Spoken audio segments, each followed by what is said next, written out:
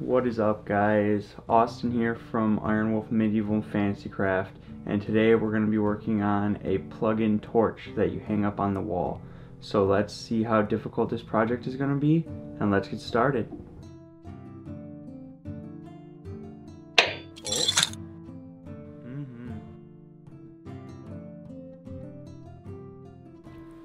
Alright, so some things you're going to need for this are a 3 quarters inch piece of PVC pipe, a half inch thing of PVC pipe, a permanent marker, some scrap cardboard, a tape measure, a screw, a Dremel or hacksaw, a hot glue gun, and a corded light.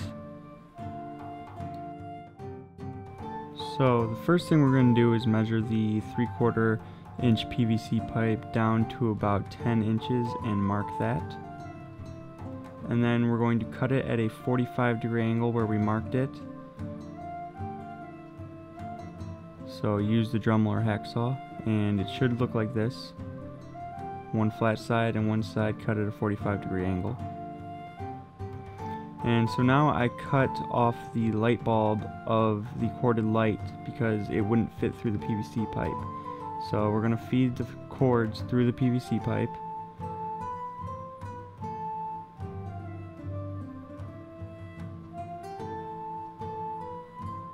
And then we're going to hot glue the light bulb onto the cords again. But if you don't want to do this, you can always attach the cord on the back of this. So now I hot glued the cords together so the light's working. And now we are hot gluing the light socket onto the end of the PVC pipe so it stays there permanently. So it should look like this once it's hot glued. And now what we're doing is adding a thick layer of hot glue around the entire light bulb.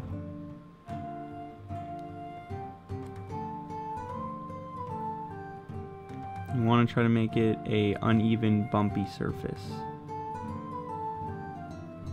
And now what we're doing is adding even more hot glue, this time making it really rough and bumpy. Pretty much what we're doing here is making a flame. So now be careful with this part, but once the hot glue is cooled enough, you can turn it upside down and grab it and start pulling it down to points so it looks like flames. And just keep doing this until you're happy with what you see, and this is what mine turned out to be.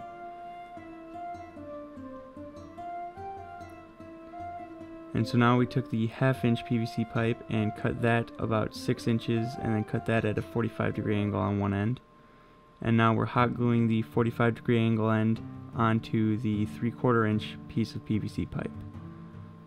Make sure it's facing down towards the end of the cord. So this is what it should look like. And so now we're taking the scrap piece of cardboard and cutting it and hot gluing it around the front of the PVC pipe so it looks like a brace or clip holding on the other piece.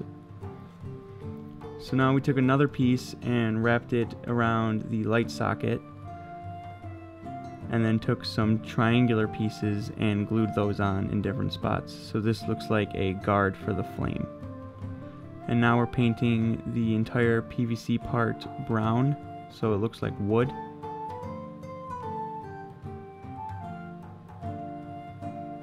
So it should look like this. And now we're painting the hot glue red very lightly. Just covering the whole thing in red with a very thin coat. And now we're covering all the pieces of cardboard with a silver colored paint.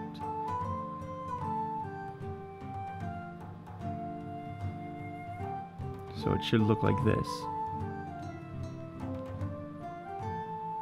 And now we're taking a yellow and just highlighting the flame with the yellow over the red. So it should look like this. and then we painted the half inch piece of PVC pipe brown. And then we took a thumbtack and glued it into the half inch PVC pipe so the tip of it is sticking out.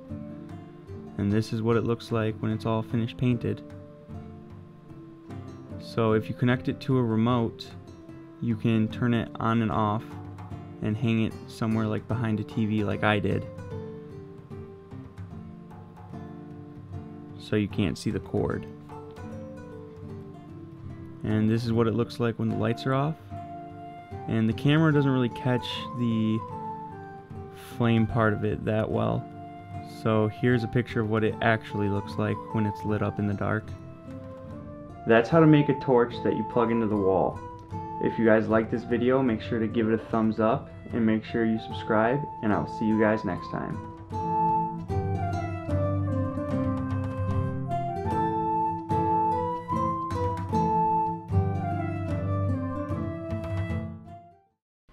So if you guys like cool tech and gaming, you want to check these guys out, Mumangu Gaming and Tech Talk.